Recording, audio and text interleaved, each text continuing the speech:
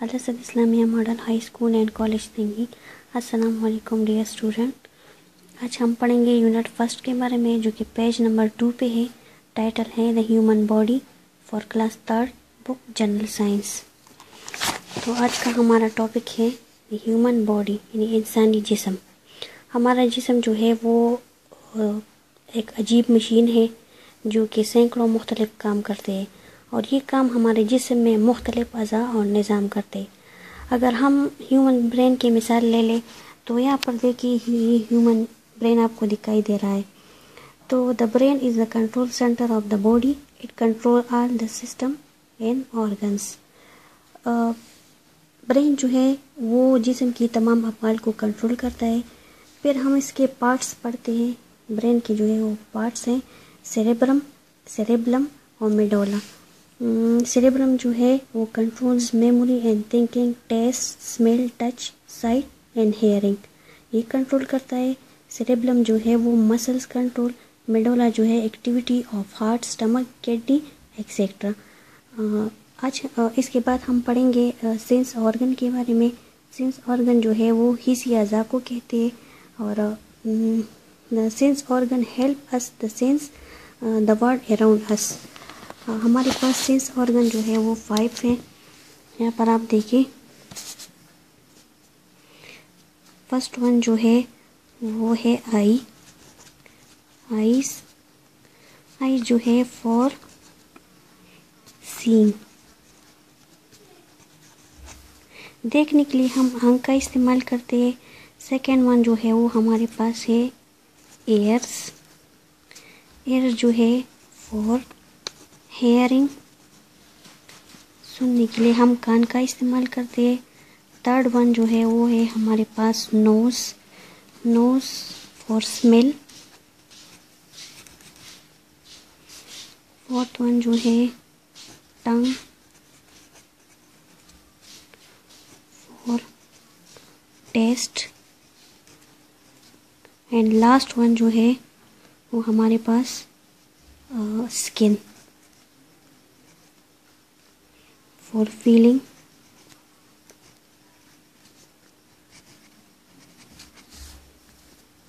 Heat. Cool. Pressure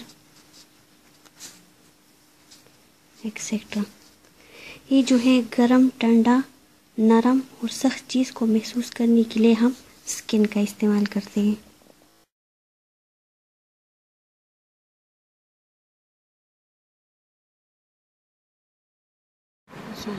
प्यारे बच्चों, कैसे हो? अच्छा अब आप तीस से क्लास में हैं, क्लास थर्ड में है। बदकिस्मती से कोरोना वायरस की वबा फैली हुई है। इसलिए तमाम स्कूल बंद है। लेकिन हमने कोशिश की है कि आपको वीडियो के ज़रिए आपको कुछ न कुछ इन्फॉर्मेशन फ़राहम करें। आप देखें छुट्टियों का काम तो शायद आपने स्कूल से हासिल किया हो, अगर नहीं हासिल किया है तो स्कूल आइए और इस वीडियो अपने साथ ले जाइए। इसमें मुख्त तरीके आपको दिखाए गए हैं। ये इंट्रोडक्शन आपको किस तरह लिखनी है? कोर्स कंटेंट है, फिर क्वेश्चन आंसर है।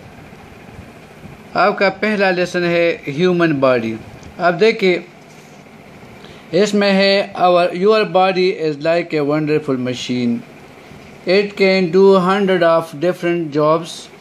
These jobs are done by different organ and system. The organs and system perform different function but they all work together. यहाँ आप देखिए इसका मतलब क्या है इंसानी जिसम जो है ये एक मशीन की तरह है जिस तरह मशीन के मुख्तलि हिस्से होते हैं और उनके मजमू अमल से मशीन काम करता है इस तरह कहते can do hundred of different jobs ये सैकड़ों मुख्त किस्म के काम करता है। इस काम को मजमू तौर पर करने के लिए मुख्तलिफ़ अज़ा और सिस्टम इस्तेमाल होते हैं।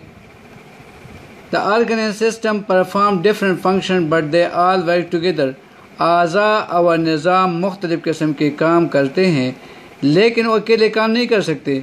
बल्कि कैसे करते हैं? इकट्ठे काम करते हैं। यहाँ आप देख के इस डायग्राम में आपको एक खूबसूरत किस्म का पिक्चर दिखाया गया है। इसमें आपसे पूछा जाता है which organ in organ system are these children using ये कौन कौन से हिस्से अपने वजूद के इस्तेमाल करते हैं? तो आप देखते हैं, यहाँ ये पाँव इस्तेमाल करते हैं, हाथ इस्तेमाल करते हैं। फिर आप देखें, अपने नज़रों को सामने रखे हुए है एक चीज़ पर। तो ये मुख्तलिफ़ हिस्से मिलकर मुख्त किस्म के काम करते हैं। फिर हम यहाँ ह्यूमन ब्रेन की तरफ़ आते हैं। ह्यूमन ब्रेन क्या है? आप देखिए, इंसानी दिमाग जो है, ये बहुत ज़्यादा अहम हिस्सा है। ये मुख्त किस्म के काम करते हैं। फॉर एग्ज़ाम्पल कहते हैं the brain is the control centre of the body it control all the system and organ आप देखिए, यहाँ सेरेब्रम और सेरेब्रम आपको दिखाया गया है। अब इसका काम क्या है सेरेब्रम का? ये कहते हैं कंट्रोल मेमोरी एंड थिंकिंग ये मेमोरी कंट्रोल करता है। सोच के साथ का ताल्लुक़ है। टेस्ट के साथ है। स्मेल के साथ है। टच साइट के साथ है एंड हेयरिंग के साथ है। फिर आपको सेरेबेलम दिखाया गया है। ये मसल कंट्रोल करता है। मेडुला है। ये कहते हैं activities of the heart stomach kidney etcetera ये हमारे दिल मैदा और गुर्दों के अफ़ाल को कंट्रोल करता है।